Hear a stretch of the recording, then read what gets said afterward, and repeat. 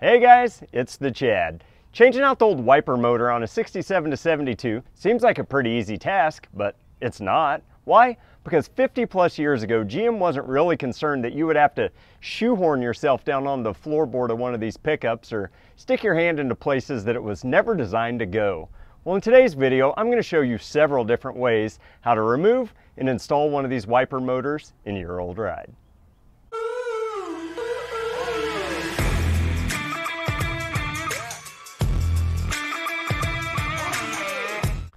So I finally made the decision to sell off what's left of this old 67. Well that, and I guess one of my neighbors complained to the city that they don't like all my truck parts being out in the driveway, so lame. But before I can sell the cab, I need to stick the dash back in it. Before I do that though, I thought, man, what a great time to show you guys how to remove and install one of these wiper motors. The 1967 to 72 GM trucks use what they called a three-terminal, non-depressed rectangular motor. The metal portion this is going to be the wiper motor and this plastic portion is going to be the washer pump. The motor has three terminals and the pump has two. On the face of the motor, you would have this rotating arm. On the top of the pump, you also would have three ports. Now the bigger one is the inlet port that would go to the windshield washer fluid tank, and the two smaller ones, these would go through the firewall and up to the squirters to spray fluid onto the windshield. As we look at the outside of the truck through the inner cowl, you can see the rotating arm comes through the firewall and connects to these wiper transmission arms by this clip. Now as the motor turns on, these transmission arms move back and forth, causing these spline shafts to spin. And then our wiper arms would be slid over the top of the spline shafts, and that's what causes our wipers to sweep across the windshield. So let's say you do remove your wiper motor out of the dash and you find that it has four terminals versus three that should be in there. Well, that's no big deal. These four terminal motors, they came in pre-67 trucks. You can still use them in the 67 to 72. On these though, you would only use the left and center terminals, leave that far right one open. So when we take a closer look, the pump and the motor itself, they get all the power from the yellow wire that comes from the fuse panel and goes to the pump and the motor itself. All the rest of the terminals, these are gonna be grounds for high speed, low speed, the pump, and to return the wipers back to the park position when they're turned off. It is imperative that we get all the wires in the correct position or the pump or the motor's not gonna operate properly. It's also imperative that you mount the windshield wiper switch. That way it connects ground between the motor and the switch itself. Now we needed to find a way to go through and ground the motor too because it's mounted to the firewall with these rubber pads. So there is a spot right here with the brass ring and it has a little strap that mounts to the motor. So once we run the bolt in, that's gonna make our ground. So this is a really important part where a lot of guys get screwed up is they have their wires in the wrong positions on the pump and the motor itself. So we have this motor installed to the firewall and properly. So we have a single and a double black plug that both go to the motor, and then we have a double brown plug that goes to the pump itself. When we turn the key on, this yellow wire is going to give us constant power from the fuse box, and all the rest of these are going to be grounds. Now the black, the light blue, and the dark blue are all going to be connected to the wiper switch at the dash. So when we turn it on to low speed, we are going to be grounding out the black and the light blue wires. When we want high speed, we're just going to be grounding the light blue. And when we want to actuate the pump, we're going to be grounding out the dark blue wire. If we don't have these wires in the correct position, the blues on the top and the yellows on the bottom, you're going to run into all sorts of problems. So now that we're all finished up with this wiring voodoo, let's actually go through and remove one of these motors from the truck.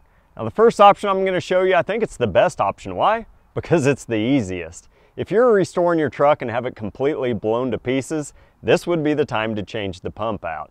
Even if your pump still works, I still would think about replacing it for a newer one now. That way you don't run into problems down the road. If you have your outer cowl panel off or your instrument cluster out, this is gonna be a pretty easy task. So the first thing I do is grab your smartphones, and take a picture here of the inner cowl. That way you can see how the transmission arms mount to the rotating arm of the motor and how the clip was installed. Then jump inside the cab and take a picture of all the wiring and how the plugs went into the motor and pump itself. That way when you're going to put it all back together, you're like, I can't remember what to do. it's gonna save you a lot of headache in the end. Now that I have the outer cowl off, this is gonna be real easy to get into the inner cowl. Now what I wanna do is go through and pop this clip off that's gonna be holding on the transmission arms to the actual rotating arm of the wiper motor. And it is important that you pay attention which one goes on top. And then pull both of those off and we'll move inside of the truck. So now that we're inside of the truck, we can go through and go ahead and remove all the plugs from the motor and pump. Then you're gonna need a 5 16 socket and ratchet, and we'll start removing the three mounting bolts.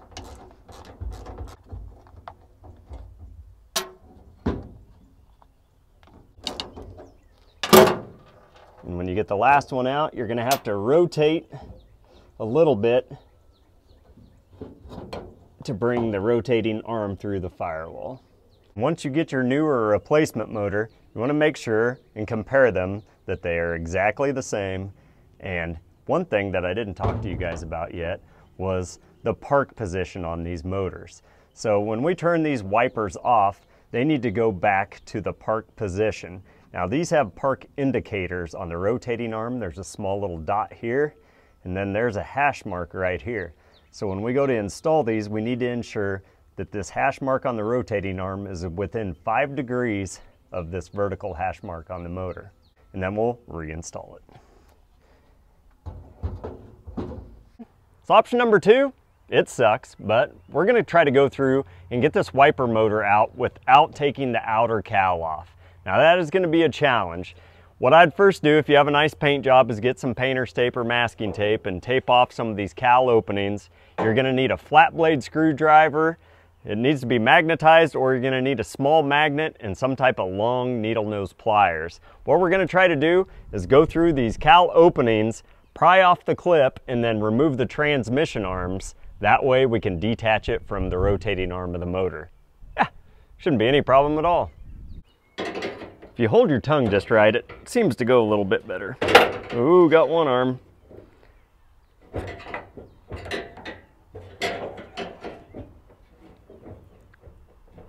I don't know how I'm gonna get them back on. That's gonna be the problem though. One came off good. Almost.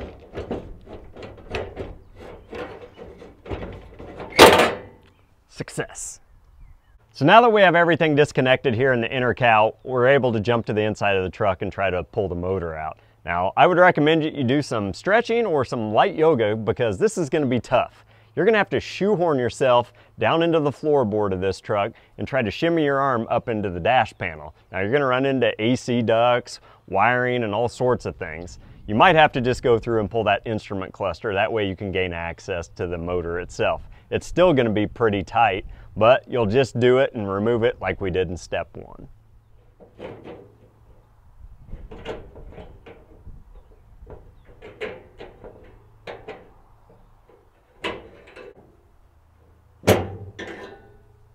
So it can be done. It just takes a little, little finesse. Yahtzee. 18 minutes. It's not very fast. So our third option is going to be removing the motor from inside the cab. We're going to be leaving the exterior cowl on, but the way this one's going to work is we won't be removing the transmission arms or the clips. We're going to do everything from under the dash. To do that, we're going to loosen all three of our 5 16 bolts. Once you get each of those out, we're going to kind of let the motor dangle from the transmission arms. Then we're gonna need to get a 7 16 uh, wrench and let this rotate a little bit. And we're gonna try to come in here and take the rotating arm right off of the motor. Now it may be a little stiff, but we're gonna start to rotate this off and just make sure you don't drop the nut inside the inner cowl. That'll be kind of a pain, but you can still probably access it with a magnet and don't drop the motor on your toes. Once you get that off, you may have to come in and pry that rotating arm off the motor itself. And then it's off. And then you'll go through, take your replacement motor, again, make sure it matches up, make sure you get the rotating arm into the park position if you can and line the wipers up that way. Oh yeah, and when you go to reinstall this, you're probably gonna have to have somebody from the outside sticking a screwdriver down on that rotating arm because it's gonna be real wobbly in there and it's gonna be hard to go through and to get that to mount back through there. So once you get that wedged on there and someone's pushing, pushing a screwdriver down, then hopefully you can get your fingers back in here to get that nut on and then tighten it with a wrench. So truly, it doesn't matter which option you choose. They all kind of suck in their own way. Now, I'd always go with option number one, which is the easiest option where the truck's blown apart and you can have that swapped out in about 10 minutes. Now, I'd probably go with option number two next where you're fishing through the cowl opening with a magnet and a screwdriver. It still seemed way easier than diving up underneath that dash and trying to take that rotating arm off with a wrench. I don't know how you'd do it if you actually had a dash in the truck with wires and AC lines and ducts and stuff like that. It'd just be a real bear. Now another thing to remember, if you guys are swapping these motors out, go ahead and swap the pumps as well. But don't forget to prime the pumps. That, and if you buy an old truck that's been sitting for a long time, just pull all the lines off and blow some fresh air through them. Just make sure you don't blow air backwards through the pump where you damage the diaphragm. So let's say you guys don't want to put a pump back into your old ride. That's no big deal. If you have a new motor that has the pump on it already, that's fine. I'd just leave it. Just don't hook the wires up to it. But I would tape them off that way you don't have some type of short because remember, the yellow wire is hot all the time. Now if you have a new motor and you really want to remove it, just go ahead and remove the whole pump itself and then just install it the same way you would with just the motor. Now let's talk about some troubleshooting. A lot of the problems that we have with these wiper motors are just that people are sticking the wires in the wrong orientations on the terminals. That, we also have some bad grounds. Either the motor's not grounded or we have a bad ground at the switch on the dash.